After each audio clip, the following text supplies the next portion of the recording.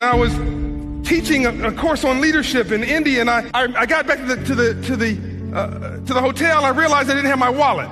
And so I called the hotel and I said, Can you please bring the car back? They have my wallet. And they said, I'm sorry, sir, we don't have a car. That was a taxi. Two in the morning, they called and said he answered his phone. His phone was off. He's coming back to your hotel with your wallet. So I get dressed and I run down and I, and I ask the man, well, how, and I get my wallet and everything is in my wallet. Everything. My passport, my money, my credit cards is all there. And I reach into my wallet and there's $70 US. I ask the man through a translator, what do you make a month? He says about 2,500 rupees. Which, so I reach out and I say, uh, let me give this $70 to you. This is my way of saying thank you. And the man says, no, I didn't bring you your wallet because I wanted a reward.